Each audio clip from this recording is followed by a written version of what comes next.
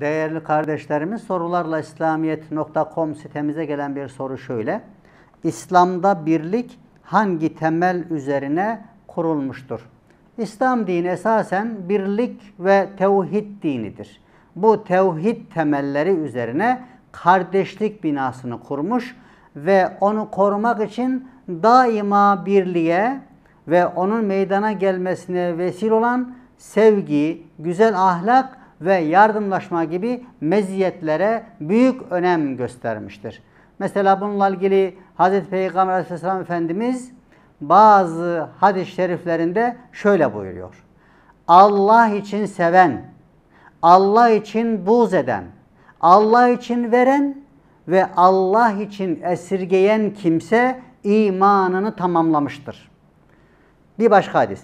Allah'a yemin olsun birbirini sevmedikçe iman etmiş olmazsınız. Bir başka hadis. Kıyamet günü müminin terazisinde güzel ahlaktan daha ağır bir şey olamaz. Bir başka hadis. Bir kimse mümin kardeşinin bir dünya sıkıntısını giderirse Allah Teala da kıyamet gününde onun bir sıkıntısını giderir. Şimdi bütün bu ve benzer hadisler dikkate alındığında birlik ve beraberlik içerisinde yaşamak büyük bir ibadet olduğu gibi tefrikaya, bölünmeye düşmek, birliği yıkmak da büyük bir vebaldir. Bunun için İslam dini ayrılığı, bölünmeyi, fitne çıkarmayı ve topluma zarar verecek her şeyi şiddetle yasaklamış, birlik ve beraberlik içinde olmayı da emretmiştir. Hz. Peygamber aleyhissalatü vesselam Efendimiz bu konuyla ilgili şöyle buyurur. Size beş şeyi emrediyorum. Bunlar da şunlardır. Birlik ve beraberlik. Beş şeyin birincisi. Mümin olan amirinin sözünü dinlemek ve emrine itaat etmek. Hicret ve Allah yolunda cihad etmektir. Şimdi bir kimse bir karış kadar cemaatten ayrılırsa İslam halkasını boynundan çıkarmış, atmış olur. Meğer ki tövbe edip dönerse. Bir kimse cahiliyet davasında yani ırkçılık, bölgecilik davasında bulunursa Allah korusun dikkat edin. O namaz kılıp oruç tutsa ve Müslümanım dese bile cehennemde dizüstü çökecek olanlardan olacaktır. Allah muhafaza. Şimdi Peygamber Aleyhisselam'ın bu uyarısından ders ibret almak gerekiyor. Allahu Teala Müslümanların güçlü olmaları ve zillete düşmemeleri için onları birliğe ve kenetlenmeye davet edip emrediyor. Bu Allahu Teala'nın bize bir emridir. Ve tefrikaya, ayrılığa ve bölünmeye düşmekten yasaklıyor, sakındırıyor, haram ediyor. Mesela Kur'an-ı Kerim'de bir ayetin meali şöyledir. Sürtüşüp çekişmeyin. Tartışıp bölünmeyin. Sonra içinize korku düşer ve kuvvetiniz elden gider. Maddi ve manevi iki türlü hastalık vardır. Maddi hastalık bedenimize, cismimize arız olan bildiğimiz hastalıklardır. Yani bu hastalık ne kadar ağır olursa olsun nihayet vereceği zarar şu kısacık dünya hayatına son vermesidir. Ebedi hayata ise asla zarar veremez. Fakat manevi hastalıklarımız Allah korusun insanın ebedi hayatını mahveder, yandırır, Allah korusun yok eder.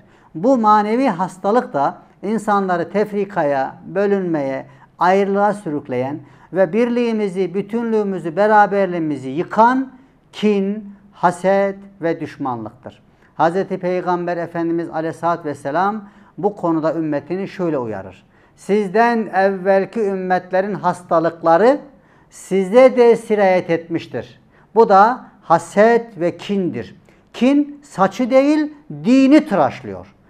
Kin ve düşmanlık ise Allah korusun kalbin derinliklerinde güçlenip dal budak saldığı ve dikenler yeşerdiği zaman şüphe yok ki iman çiçekleri solup nuru sönecektir. Bu açıdan Peygamberimiz Aleyhisselatü Vesselam dedikodu ile kin ateştedirler.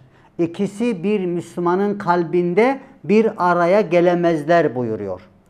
Ayrıca tarih aynasına göz atacak olursak göreceğiz ki Müslümanlar İslam'a bağlı kalıp birlik ve dayanışmayı sağladıkları müddetçe daima ileri gitmişler ve hakimiyetlerini sürdürmüşlerdir.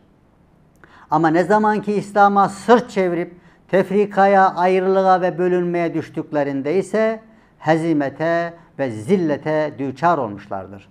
8 asır gibi uzun bir zaman ilim ve irfan yuvası ve medeniyetin beşi olan olarak yaşayan güzel Endülüs'ü yıkan mahveden Türkiye topraklarının en az beş misli kadar geniş olan Türkistan'ı komünist Rusya ile Çin'e ve Müslümanların ilk kıblesi olan Kudüs Şerifi Yahudilere peşkeş çeken tefrika, bölünme, ayrılık ve iman zayıflığı değil de nedir?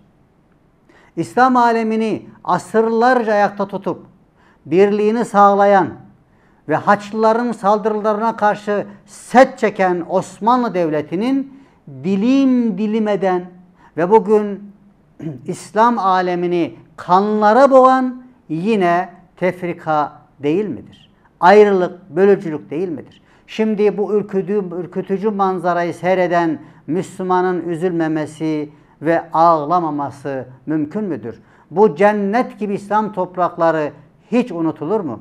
Bu açıdan içinde yaşadığımız bu zillet ve esaretten kurtulmanın tek çaresi vardır ki o da iman ile hakka dönüp birliği ve dayanışmayı sağlamak ve tefrikayı, bölünmeyi, ayrılığı ortadan kaldırmaktır. Bunun için çalışmak ve tefrika düşmanı ile cihad etmek her müminin ve Müslümanın ama özellikle de her davetçi ve mürşidin vazifesidir. Önemli bir görevidir.